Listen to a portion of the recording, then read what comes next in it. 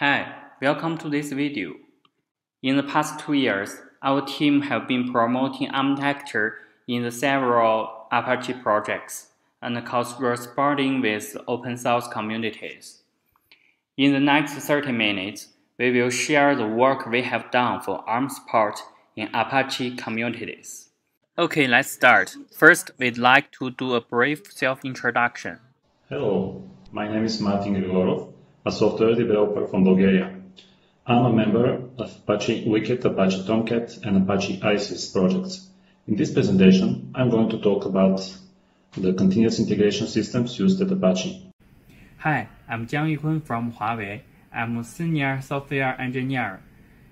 I was OpenStack Cinder project co-member and now focus on ARM and big data open source projects. Hi everyone, I'm Liu Sheng. I'm a software engineer from Huawei. I was devoted to open source software in past uh, eight years. Currently, I'm mainly working on ARM support for popular open source projects. In this presentation, I will also introduce what we have done about ARM support for Apache projects. The content would be divided at five parts. In the first part, we will introduce the background and motivation, including the original intention and why we want to do it.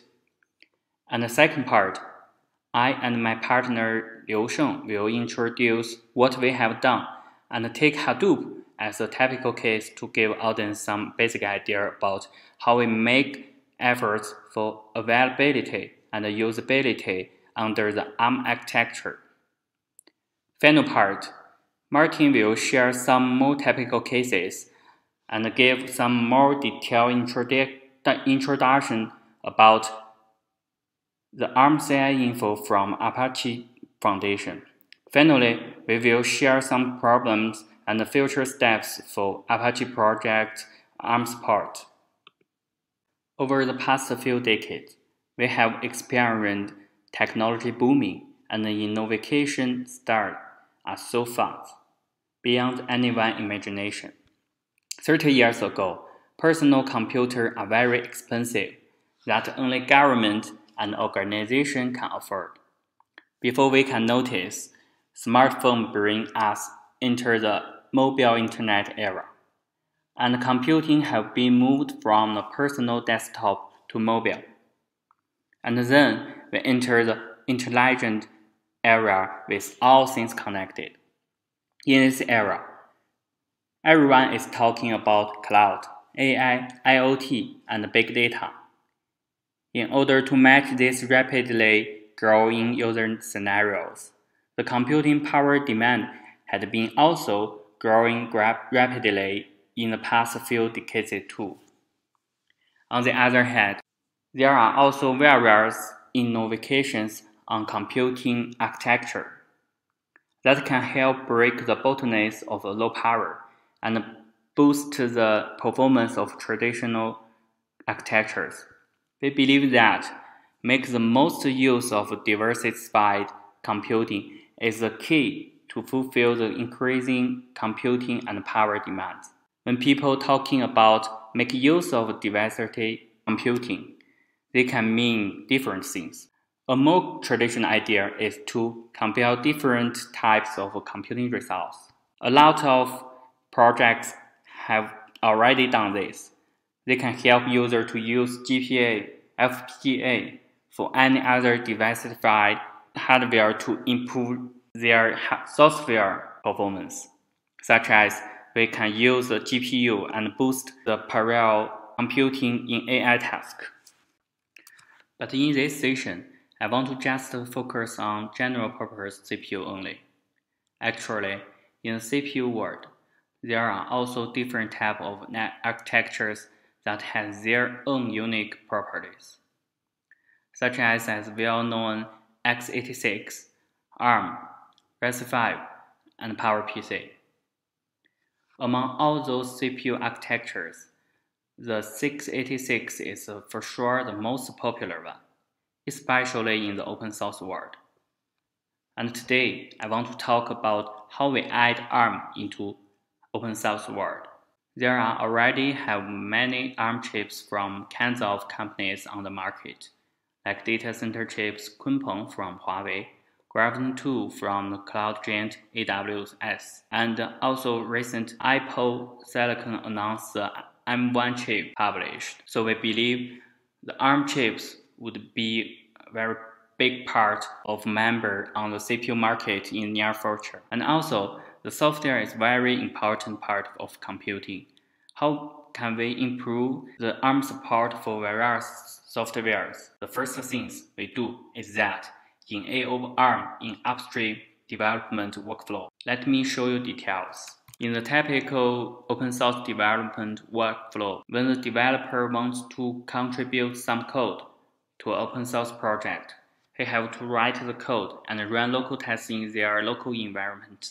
After everything is checked, here he can push the code to remote repos, such as GitHub. The code would be also rebased to open source main branch and do a double tested in there. After that, the code would be merged in the project main branch. After a certain period of time, the release and package would be published in their official website or somewhere the user can download the package directly. All those can guarantee the quality of software continuously. Since x86 is a major product on the market in the past, x86 environment is a default architecture of workflow, including developer local environment, air testing machine, and build machine. So for x86 users, the quality is good for sure. But for ARM users or users of other platform, there may be problem because the software are not tested and built from native default platform. So in order to provide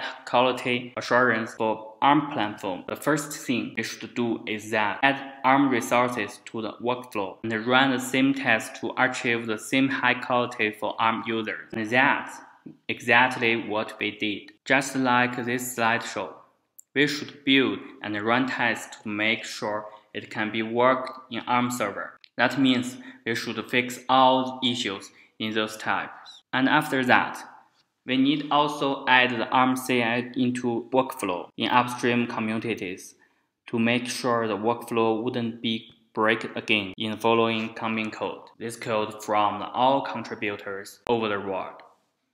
As shown in the left picture, it's a landscape for ARM support. You can see most popular projects in Apache has ARM support.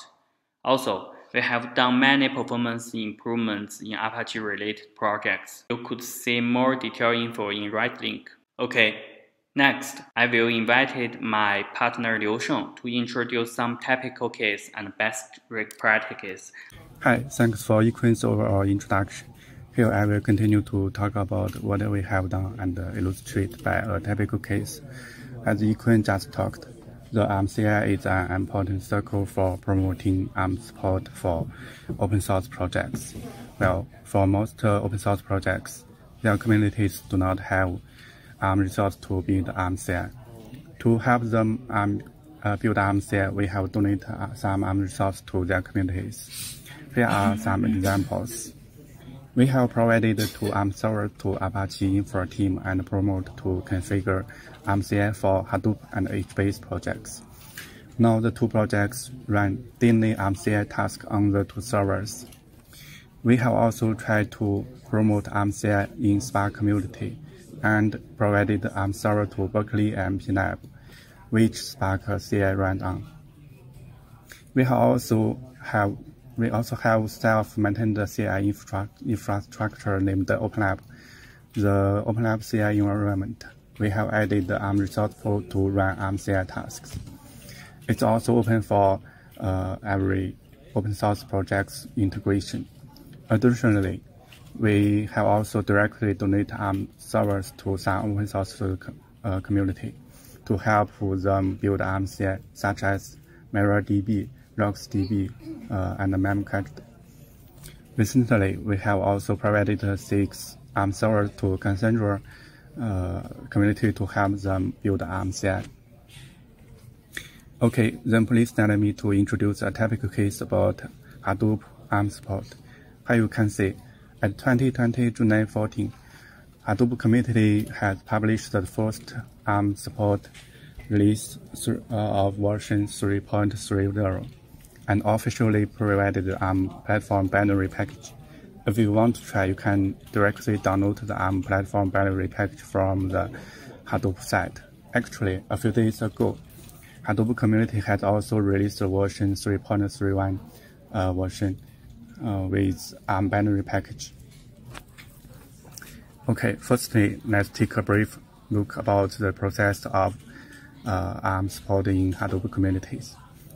At 2019 uh, June, we have created the first issue at JIRA to ask about uh, ARM support in Hadoop community. This is also the first uh, attempt to promote ARM support in Apache community. At 2019 August, we have shared our ARM supporting plan and current status at, at the Hadoop meetup at Beijing. Uh, at, uh, at 2020 January 6, Hadoop um, CI has officially uh, enabled. At 2020 July 14, the first Hadoop ARM release was published with 3.30 version. This is the sign that we, the most popular Apache project, Hadoop, has officially supported ARM's platform.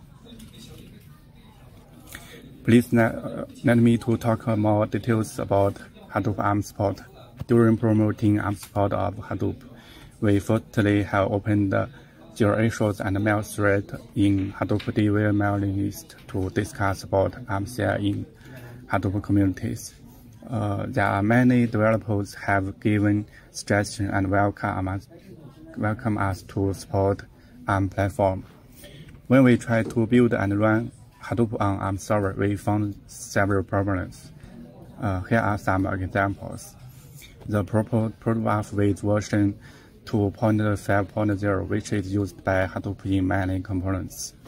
But uh, version 2.5.0 uh, does not support ARM platform, and the newer version 3.7.1 has support ARM platform. So we have upgraded version of protobuf in Hadoop to 3.7.1 that need also need to modify code in many components. Uh, similarly, the native or the LevelDB JNI, the Phantom.js libraries, which are also used by Hadoop and does not support uh, ARM platform, we have proposed changes in Hadoop or even in the dependency projects to fix. Uh, the Hadoop, uh, Hadoop ARM CI uh, also help Hadoop community to identify potential issues of Hadoop itself. Uh, and, and also we have added two features in Hadoop, the NVDM support in Hadoop and the SM4 feature. Okay, further step, we have also done some performance testing and tuning uh, of Hadoop on ARM servers. The code codec libraries are important factors to affect the performance in Hadoop workloads. The ZSTD, the Snappy, uh, the zlib, gzip are three more, most, most common used codec libraries in Hadoop. For the ZSTD, we have proposed changes in the ZSTD which improve about 3.3% uh, speed up in compression and more than 13% uh, speed up in decompression. For Snappy, we have forked the Snappy and done many changes which made more than 10% speed up in compression and more than 9 speed up, percent speed up in decompression. For gzip, there is a specific hardware support for features of Huawei Kunpeng server. The KAE Kunpeng accelerator engine, which used the hardware boost to the compression, reduce CPU utilization, that make a huge improvement, uh, more than 13 times speed up in compression and more than 7 times speed up in decompression. Based on the performance tuning in codec libraries, we have also done Hadoop workload performance tuning with applying, applying the codec libraries. The testing environment spec is uh, 32 vCPUs and uh, 64 GB memories and uh, 500 SSD with the Ubuntu um, 90% 8.4 system. We use the TeraSort tool to do perform performance benchmark. The benchmark data is uh, 50, 50 GB data generated by TeraGen tool. Here you can see when you use zlib as Hadoop codec, according to the benchmark results, the TeraSort end-to-end speed up uh, more than 40% with zlib enabled, and speed up more than 10% with Snappy uh, enabled, which is optimized uh, with our uh, changes. Okay, that's all from me. Thank you. Please, Martin, introduce the rest content. In the second use case, I will talk about the Apache Drill project.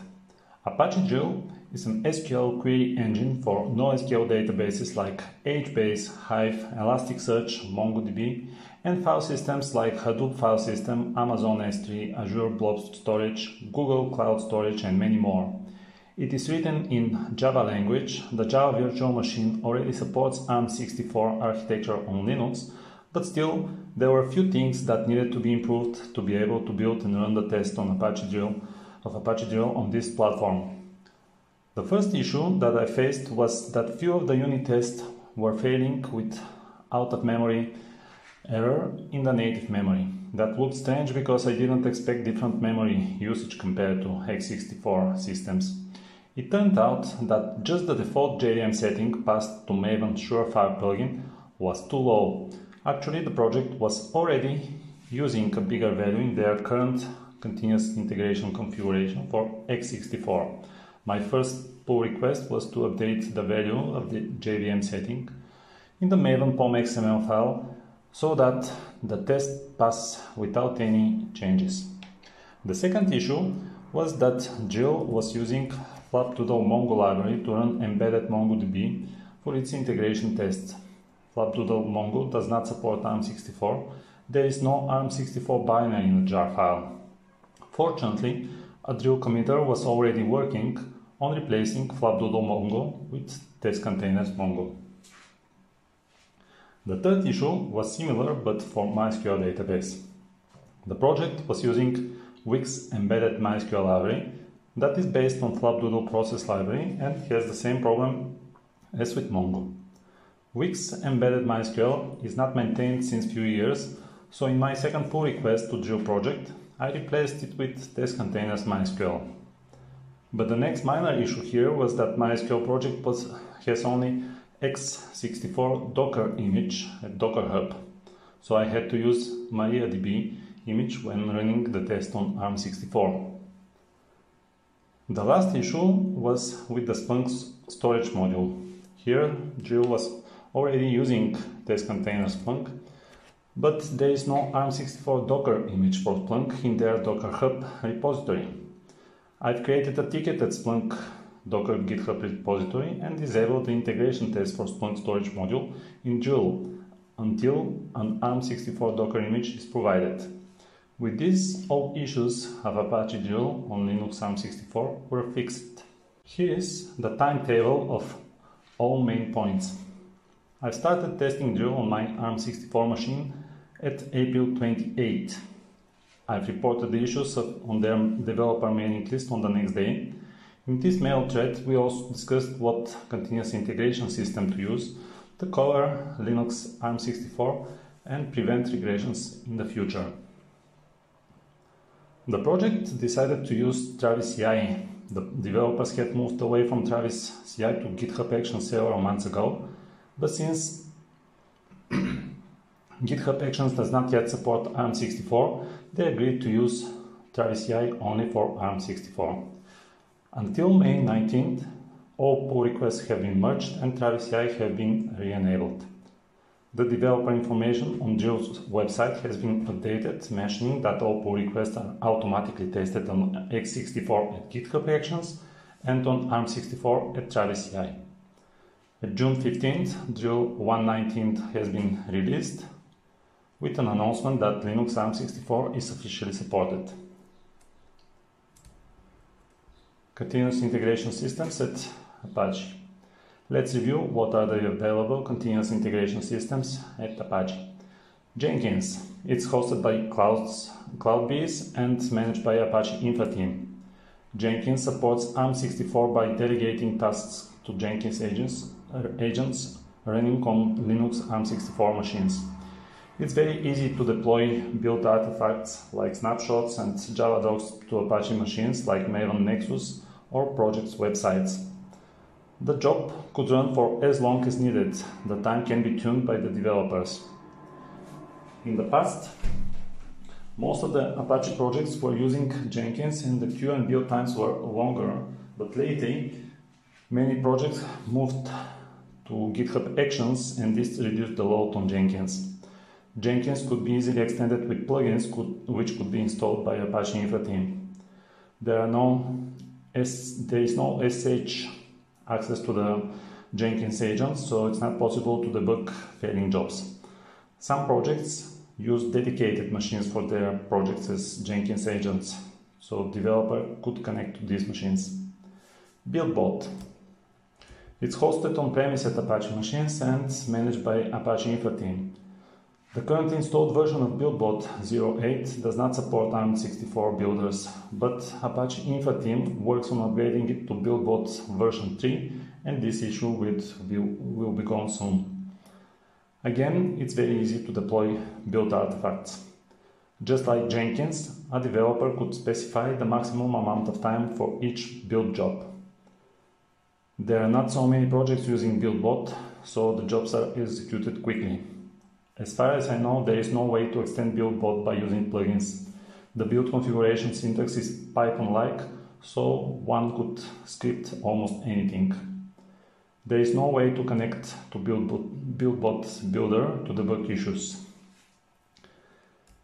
GitHub Actions, managed by GitHub at Microsoft.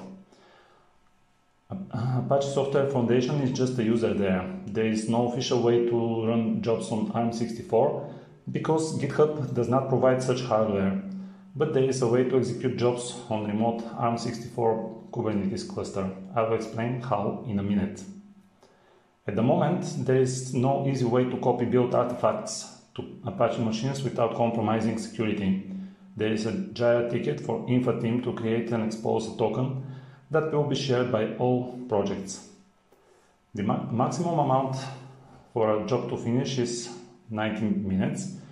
If the job could not finish in that duration, it will be killed automatically. Almost 300 Apache projects use GitHub Actions, so their rush hours when queue time is quite high. GitHub Actions is extensible via, via Actions. Due to, secu to security concerns, only pre-selected actions are allowed to be used. If one needs to use a new action, then he or she needs to contact Apache Infra team to enable it. It's not possible to connect to the GitHub machines for debugging. Travis CI. Travis CI is managed by Travis CI company, supports several CPU architectures, x64, ARM64, IBM PowerPC and IBM Z. At the moment, there is no easy way to copy build artifacts to Apache machines without compromising security. The maximum amount of time for a job to finish is 50 minutes. This is the shortest job time for all CIs. Lately, many Apache and open source software projects moved away from Travis CI because the quality of their service dropped a lot. Since the transition of, from travisci.org to travisci.com, even it's not free anymore, but trial only. There is no way to extend Travis CI via plugins. There is no way to debug on Travis CI machines. Circle CI. It's managed by Circle CI company supports x64 and ARM64 architectures. At the moment, there is no easy way to copy build artifacts to Apache machines without compromising security. The maximum amount of time for a job is 120 minutes. Just a few Apache projects use Circle CI, so there is almost no wait time. It's extensible via ORBS. It's similar to GitHub Actions. Actions. One can connect to the build machine via SSH and debug Explorer there. And this way one could use an ARM machine for testing new ideas. This makes Circle CI my recommendation for any project that wants to build and test on ARM64. Azure Pipelines, it's managed by Microsoft. It supports ARM64 by using self-hosted build nodes. At the moment, there is no easy way to copy build artifacts to Apache machines without compromising security. The maximum amount of time for a job is 360 minutes. Just a few Apache projects use Azure Pipeline, so there is no wait time. It's extensible via action-like extensions. Debugging is possible only on your own nodes. That is, it's possible for ARM64 self-hosted nodes. Since most of the Apache projects use GitHub Actions where ARM64 is not supported architecture, we had to be creative and provide a way to build and test on Linux ARM64.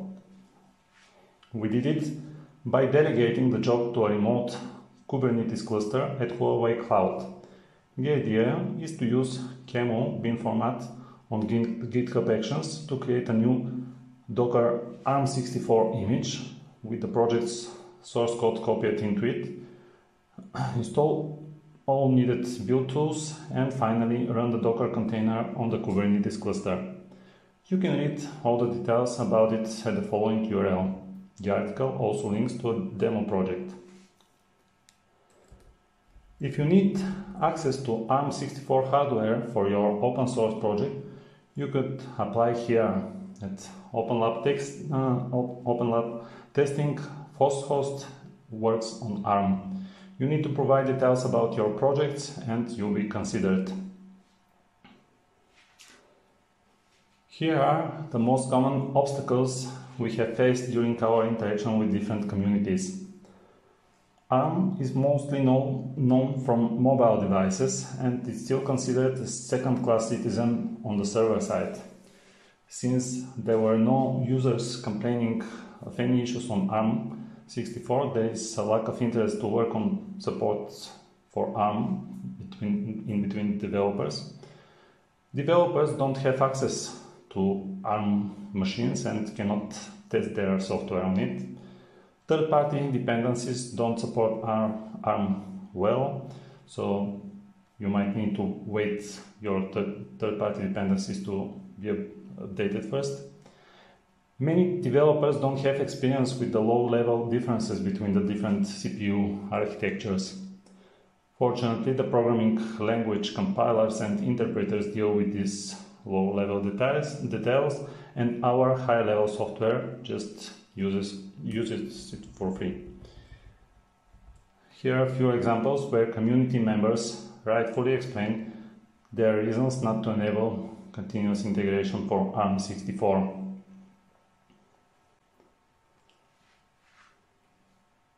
Currently, we have several open pull requests to Apache projects which still haven't decided whether they want to add continuous integration on ARM64. At the time of recording this presentation, Apache Mesos is in the process of adding Jenkins agents on ARM. We have some more Apache and other open source software projects for which we would like to add support for ARM64. That's all from us. Please let us know if you have any questions. We'll be happy to answer them. Thank you. Okay, thanks for your passion, and thanks for Liu Sheng and Martin awesome share. We will left two minutes for question and answer. If you guys have any question, you could feel free to comment